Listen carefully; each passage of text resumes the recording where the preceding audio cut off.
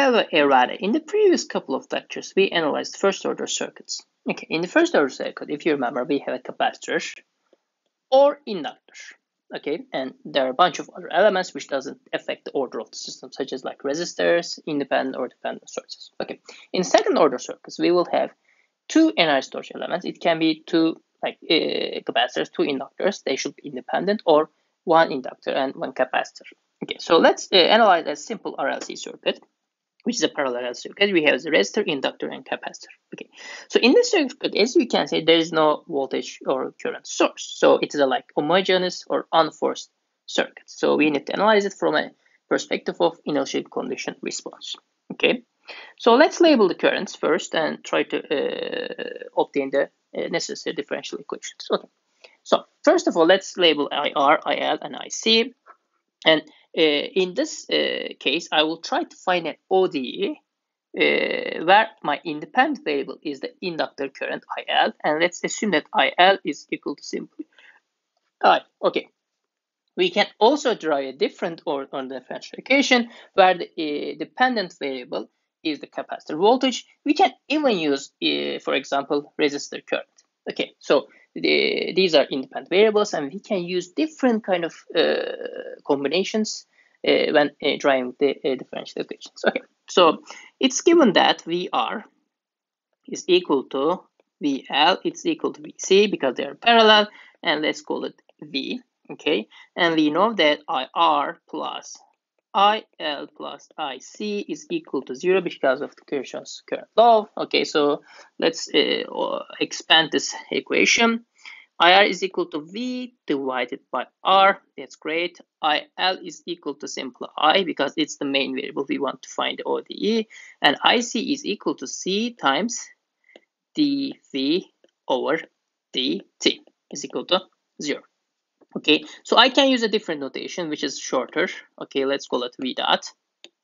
Okay, V dot. Okay, so and if you don't know d over dt, v is equal to v dot. Okay, so this is like a simpler notation for a time derivative. And if we have second order, then it is v double dot.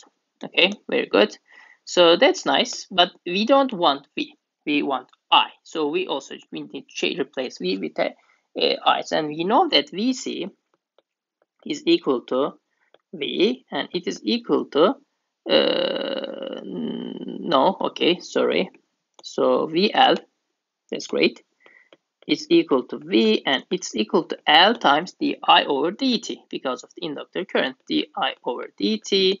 So technically it is equal to l times i dot okay?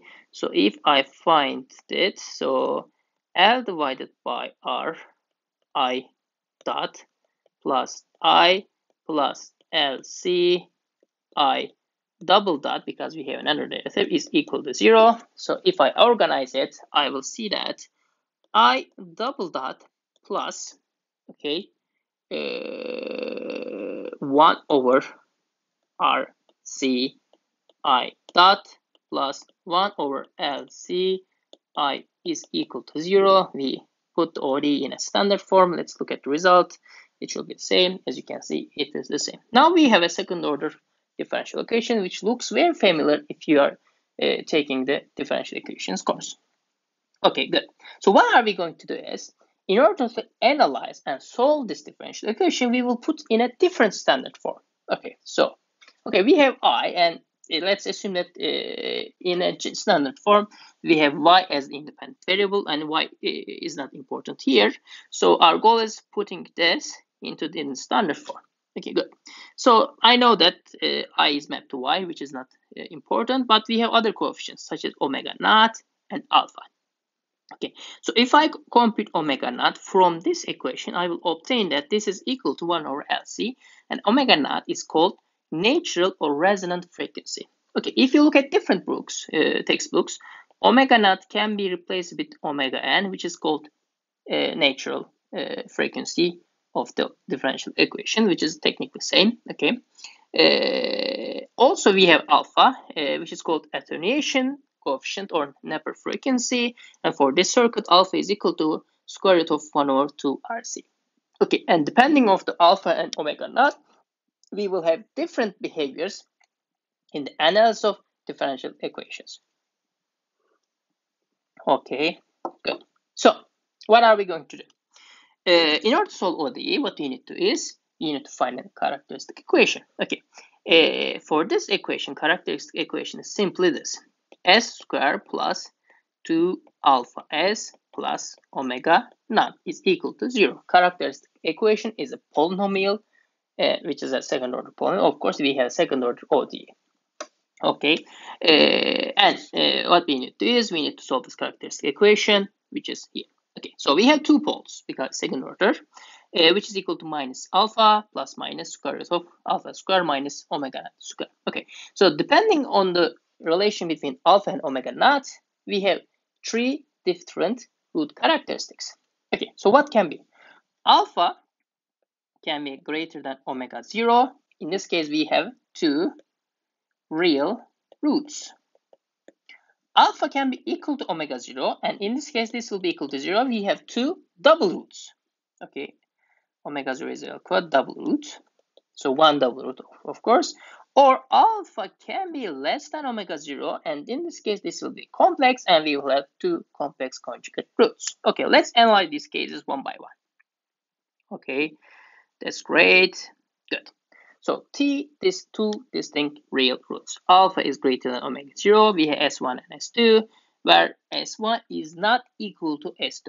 Okay, so we know that it is the case. So in this case, we need to write a homogeneous equation format, which is equal to C1 e to power S1t plus C2 e to power S2t. We already compute S1 S2. Okay, so we know the form. What we need to do is we need to compute C1 and C2. How? This is an unforced response, so there is no input. So what we need to compute is uh, using the initial conditions on the capacitor and inductor, and we, need, we may need more. I will talk about later in an example. Compute C1 and C2, and we are done. What we can do is we can finally uh, plot the graph. Okay, so for a C1 C2 combination, uh, output can look like this. Okay, so it can start from initial condition, and as time goes to infinity, it will exponentially approach to zero. And at some point, yt will be equal to zero, of course, because under steady state condition, everything will go to zero if there is no input in the system. Okay, so depending on the C2 and C1, you can get different responses, especially when t is close to zero or time is close to zero. So it can be something like this okay? Or it can be something like this. It's also possible. But uh, no matter what happens we, uh, initially after some time it will be dominated with the slowest pole which has the like largest time scale and it will look like a first order exponential decaying behavior. Okay good. So this is uh, what you need to know at this point of the course. Okay now let's look at another case, okay, where alpha is equal to 0, S1 and S2 is real, but they are equal to each other. S1 is equal to S2 is equal to S, and uh, for this notation, it's equal to minus alpha. So what are we going to do is, let's write homogeneous equation, C1 e to power S2, or I can write it like this, C1 e to power minus alpha t, plus C2 plus C2 e to power st e to power minus alpha t, but I cannot leave it here because e to power st is equal to e to power st. Okay, so it's not bringing anything. So what we do, if you remember from differential equation course, we add a t multiplied to the other basis function. Okay, this is how we can solve a repeated root case in a second order differential equation. Okay, so if we plot the result and if we compare it to the uh, previous case, okay, uh, we find this. Okay, so I didn't tell, but uh, this case where we have a real double root, okay, two distinct roots is called, okay, here, over damped response. So damping is so much that it's kind of slow. It's really related with that. So, okay, so if we have two distinct roots, it's over damped. If we have double root, it is called critically damped. Okay, good. So depending on C1 and C2, a critical damp behavior can look like this, and this is an overdamped behavior. Okay, so in this example, it's obvious that, as you can see, uh, alpha is equal to omega 0 case reach the uh, steady state, which is 0, faster than the overdamped case. This is, of course, true when omega 0 is equal to each other, but we only change alpha. Okay, so if you keep the natural frequency is same, if you change alpha from an overdamped to the critical damped case, you will see that uh, the behavior, the circuit will reach steady state much faster than the overdamped case. Of course, depending on of alpha, uh, omega 0, if you change to omega zeros, it can change. And also, you should note the fact that uh, the behavior can be quite different when t is close to 0. Okay, for example, uh, an overdamped case can look like this, but critical damped case, for example, okay, let's change the color, can look like this.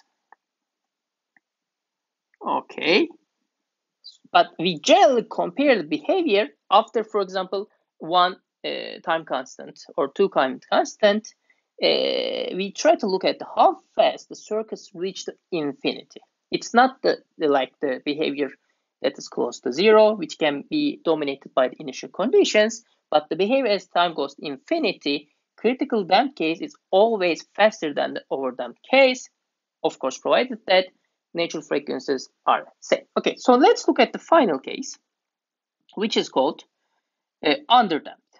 Okay, so underdamped response happens when alpha is less than omega 0. So if you look at the original equation, okay, and I'll talk about it later previously, when alpha alpha is, okay, sorry for that, alpha is less than omega 0, this becomes complex, and we have, we will have, okay, here, a complex conjugate root.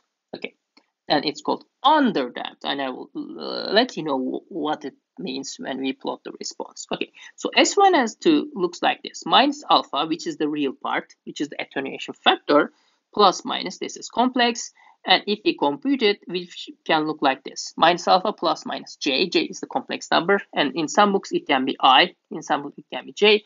But in electrical engineering, we always use j because we keep i for the current. Okay, so j is the complex number. And omega d is called the uh, damped natural frequency, damped frequency, or damped resonant frequency. There are different names, but this is the main frequency uh, that will determine the oscillations in the output. So what oscillations you may ask? So in order to find that, we need to find the general solution. Okay, so if you remember from OD classes, once we have a complex conjugate pole, we write the form in this form, C1 plus e to the power minus alpha t which determines the exponential decaying factor times cosinus omega d t because it will oscillate because it's under damped. There is no enough damping. It will oscillate plus C2 e to power minus alpha t sine omega d plus t. If you look at the textbooks, you can see different kind of notations. For example, instead of C1, C2, uh, where we have cosine and sine, it can be single cosine, but we can add a phase shift.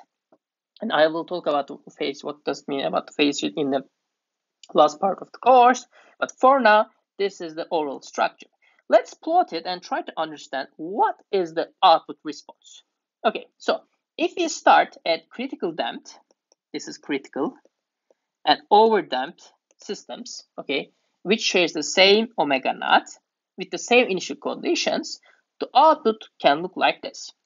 Okay, so what is this? So critical damp is the red curve. Uh, under damp can, uh, response is the uh, blue curve. As you can see, the main difference is this oscillates and this doesn't oscillate. Okay, and it oscillates because we don't have enough damping. But however, if you look ignore the oscillations, if you just look at the peaks, for example, we have a peak here, we have a peak here, we will have a peak here.